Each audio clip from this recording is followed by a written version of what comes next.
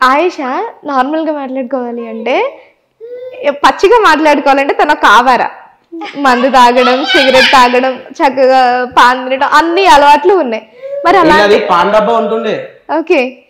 ఇలా పాన్ డబ్బాల ఖాతా ఉంటుండే నాది. డాడీ దగ్గరనే. అంకుల్ ఐదు ఇవ్వండి అంటే మళ్ళీ ఇచ్చేసా. "ఆ, సరే అంకుల్. నేను ఇట్లా నార్మల్ అప్పుడు ఎక్కువ టూర్స్కి పోతుండే దోస్తులతోటి. ఉమ్, ఇంట్లో ఉండకపోతున్నా నెలల ఐదు రోజులు ఆరు రోజులు ఇంట్లో ఉంటుండే. మొత్తం బయటనే. ఓకే. తాగాలి బిల్డింగ్లో మీద ఆడే దోస్తులు. ఒక్కనే కాదు ఫ్రెండ్స్ తోటి. నాతో పాటు అందరు అన్న వాళ్ళు వాళ్ళు నేను నాకన్నా పెద్దన్న నాకు అప్పుడే నాకు ఎయిటీ నైన్టీన్ ఇయర్స్ ఉన్నప్పుడే నేను థర్టీ థర్టీ ఫైవ్ తోటి తిరిగిన. ఉమ్, అప్పుడు. ఎందుకంటే నాకు ఒక అది ఉండే. అరే నా డ్రీమ్ నిజం చెప్పాలంటే నేను జైలుకి పోవాలరా పోయి అరే వీళ్ళందరూ పోతున్నా అది నాకు డ్రీమ్ ఉంటుండే. సీరియస్ జైలుకి వెళ్ళాలనా అది ఉంటుండే. అందరినీ చూస్తున్నా నేను. అరే వాడు వీడిని కొడుతున్నా అది చూసి నేను ఎట్లా అంటే మొత్తం నేను కూడా అదే వెళ్ళిపోయినా మొత్తం. వాడిని గెలుపుడు వీడిని ఆడ బస్సులో కానీ మా బ- మేము కూర్చున్న దగ్గర కానీ ఎవరిని కొట్టినా వచ్చి నన్నే పట్టుకుంటుండే. నువ్వే కొట్టినవరా భయ్ అని చెప్పి. అట్లా అట్లా అంత చిల్లర ఉంటుండే నేను. చాలా అంటే చాలా చిల్లర ఉంటుంది చాలా చిల్లర. అయితే ఇలా మామయ్య కాల్ చేసిండక్క. కాల్ చేసి ఇట్లా అనగానే సరే అని చెప్పి ఏదైతే అది అవుతుంది ఆమె నాకు తోడుంది చాలు. అప్పటికన్నా నేను. కన్నా వాళ్ళు ఏం మాట్లాడినా సరే అన్నీ నేనే అని చెప్పి. ఒక రెండు మూడు సార్లు చెప్పినా కానీ ఈమె ఎట్లా అంటే పిచ్చ లైట్ ఉంది. ఏ ఏమవుతుందిలే అన్నట్టుంది. నాకు మొత్తం కాలు చేతులు వణుకుతున్నాయి ఇట్లా. భయం అవుతుంది నాకు. ఇది సరే అని చెప్పిన ఇక మన ఐడిపిఎల్ ఐడిపిఎల్ ఉంది కదా బాలనగర్ ఐడిపిఎల్ అక్కడ చింతలని ఉంటుంది గణేష్ నగర్. అక్కడికి వెళ్ళి జిరాక్స్ షాప్లో అన్ని జిరాక్స్లు తీసుకున్నాయి. మీ టెన్త్ మేము బర్త్ సర్టిఫికేట్ నాది ఆధార్ కార్డ్ ఆమెది ఆధార్ కార్డ్ అన్నీ అన్నీ తీసి డైరెక్ట్ వెళ్ళిపోయినా. డైరెక్ట్ గుడికే. మా అమ్మ ఏడున్నారా అంటే ఏడీరా అని చెప్పి అన్నారు. గతం వెళ్ళిపోయినా.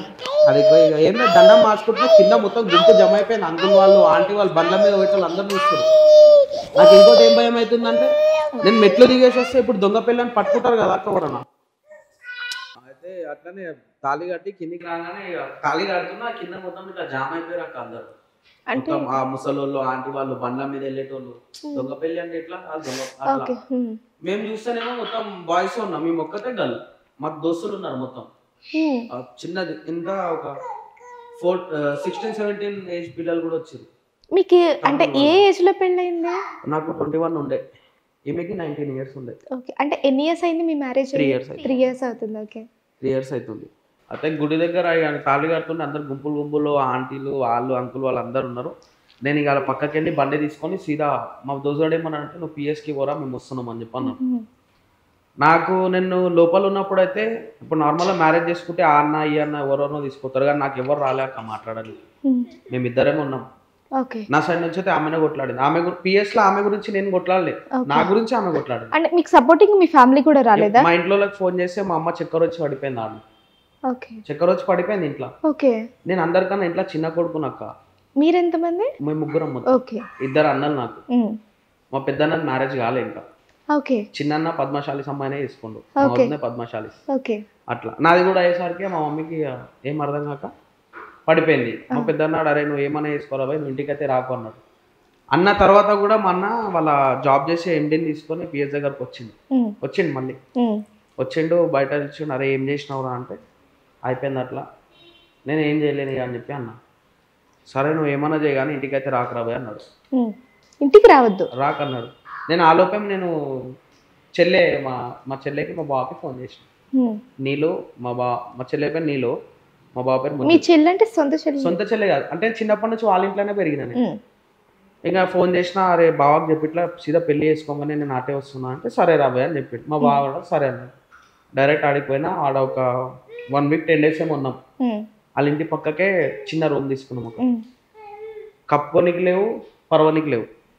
కట్టుబట్టల. మీదనే వచ్చినాం కదా. ఏ ఏం చేసినా అట్టి ఇక మా మామ ఫైనాన్స్ ఇప్పిస్తే ఒక టెన్ థౌసండ్. దాంతో అట్లా అన్ని సామాన్లు. దా మ్యారేజ్ అయినా నెక్స్ట్ డే మా ఇంటికి పోయినా నేను. వచ్చి బట్టలు తీసుకొని పోన్నారు. ఉమ్, పోయారికి ఇట్లా చెప్పుల కాడ పెట్టేసి జొమాటో కొడుతున్నాను నేను అప్పుడు.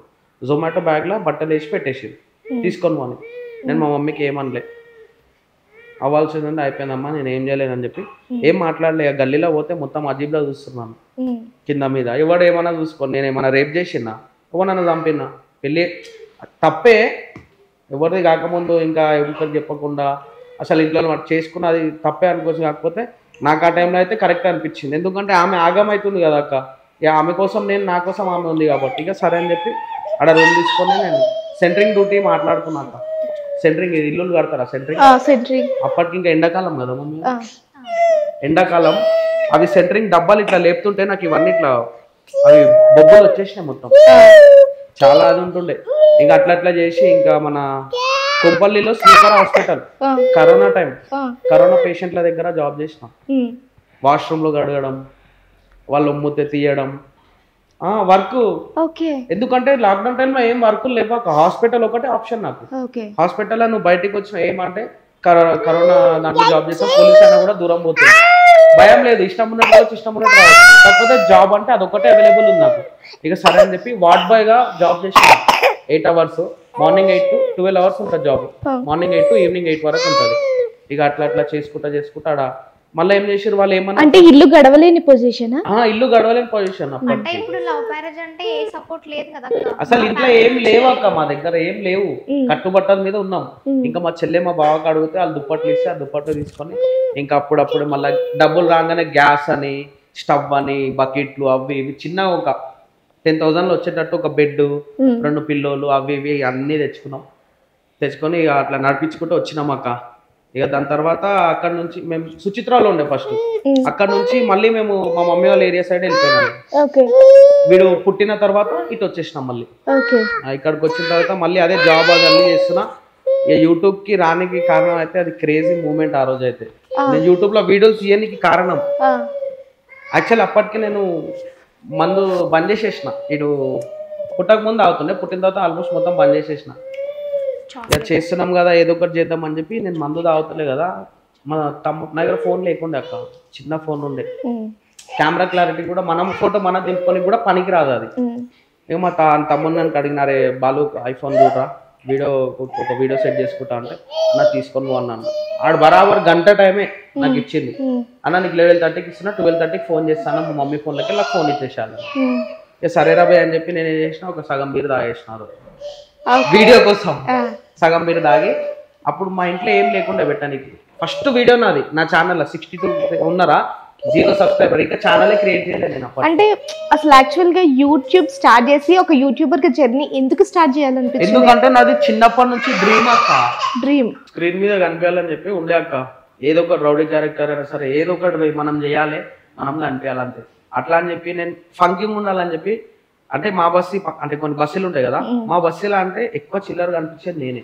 ఓకే. ఇవన్నీ హోల్స్ ఉంటుండే నాకు ఇక్కడ లోపల? లోపలికి బయటికి. డిఫరెంట్ ఉండాలి ఏదో ఒకటి ఉంటది కదా. టిక్టాక్ వీడియోస్ చేయాలని. రోజుకు ఒక కలర్ వేసుకుంటుండే ఇదంతా గుండు. మధ్యలో ఒక కలర్ అదొక కలర్ ఇదొక కలర్ ఓ అంటే ట్యాంక్ నుండి పోవాలి వీడియోస్ చేయాలి. వాళ్ళు వాళ్ళు ఇప్పుడు నేను ఎవరితో తిరిగిన వాళ్ళు కూడా యూట్యూబ్లో మంచి పొజిషన్లు ఉన్నారు కానీ పొజిషన్ వచ్చినప్పుడు దోస్తాను ఎట్లనో మర్చిపోతారు. ఉంటారా? లంగాలు. అట్లా ఉన్నారు. నాతో తిరిగిన వాళ్ళు కూడా ఉన్నారు. ఇక పేర్లు చెప్పాలి. లైట్ అది పట్టించుకోం మనం. అట్లా. అట్లా అట్లా. సరే అని చెప్పి ఈమె కూడా చెప్పలేదు నేను యూట్యూబ్ ఛానల్ పెడతా అది. ఇప్పుడు నేను చెప్తే అది స్క్రిప్టెడ్ అయిపోతుంది. ఉండే మళ్ళీ ఉండే. నేను ముస్కాన్ కడుపులో ఉన్నప్పుడు ఒక ఛానల్ సేల్ చేసేసిన. ఛానల్ సేల్ చేసిన. ఓకే. డబ్బులు లేక. హాస్పిటల్కి పోయేది ఉంది. ఈమెకేమో పెయిన్స్ వస్తున్నాయి. ఇప్పుడు నేను వెళ్ళిన జాబ్ అప్పటికి నాకు శాలరీ వచ్చేసి నేను వాడేసిన. నాకు మళ్ళీ శాలరీ రానికి మస్తు టైం పడుతుంది. ఆ ఛానల్కి అంటే డాలర్లు అన్ని స్టార్ట్ అయిపోయినా అంత. ఆ ఛానల్లో ఉన్న పైసలే నేను నాకు ఇచ్చిన అంతే. ఛానల్ డబ్బులు కూడా ఇవ్వలే ఓకే. ఎంత? సిక్స్టీన్ హండ్రెడ్ ఉండే సబ్స్క్రైబర్స్ అందులో ఆల్రెడీ ట్వెల్వ్ థర్టీన్ డాలర్స్ ఉండే. ఫోర్ థౌసండ్కి ఇచ్చేసిన. ఓకే. వేరే ఫోర్ థౌసండ్ ఫోర్ థౌసండ్కి ఇచ్చేసిన. సేల్ చేసేసిన నేను. కేవలం తన హాస్పిటల్ ఖర్చులు హాస్పిటల్ ఖర్చుల కోసం. అంటే డెలివరీ టైం కాదు నాకు కొంచెం Normal గానే. హెల్త్ చెకప్ కోసం. ఇంకా ఓకే.